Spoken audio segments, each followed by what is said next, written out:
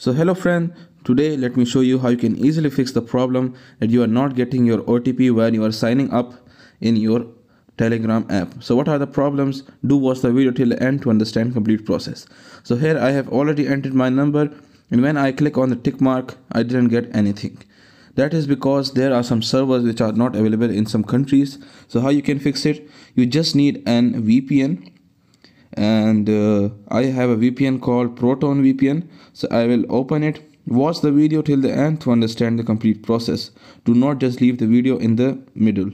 So here let me search for a VPN which I have here the Proton VPN which is the best VPN you can use this for everything. So here now I'll connect it. And after connecting it just open the telegram app again.